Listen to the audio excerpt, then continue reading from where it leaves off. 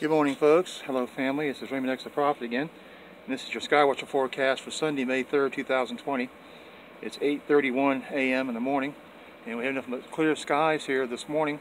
I'm out here doing laundry in front of the laundromat here in the apartment complex. And we have nothing but clear skies today. And as I rotate the camera around, nothing but clear skies all over the place. There might be some clouds down there toward the horizon. 61 degrees clear no wind, and there's some clouds right above those tree line right there. And I'm just doing some laundry, trying to get this stuff done.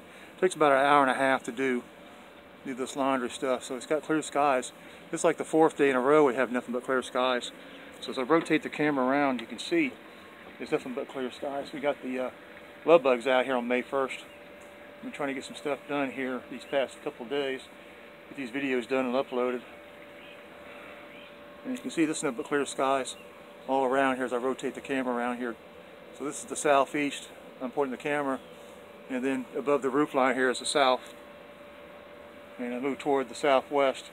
You can see but clear skies. So as I rotate the camera around 360 degrees, here's, here's the west, the northwest, and head over toward the north. And head over toward the northeast. And right here toward the east. You can see the sun is right there through that tree right there. So that's what I have for you. So subscribe with your forecast for today. Remember that Jesus is coming soon, very, very soon, sooner than you think. He's at the very doors, folks. So I just want to let you know that God loves you, and so do I. God bless you all and everything you do today. Go to church, worship God in spirit and truth, play some worship music, pray, read your Bible, take communion every day. If you want to save yourselves, that's the way to do it. Take communion every day. You can do that. Get you some bread and some juice say the prayer and take it. And you're saving yourself because you're honoring his son, the one that died for you. And Jesus is coming back soon, very soon. And he loves you very much.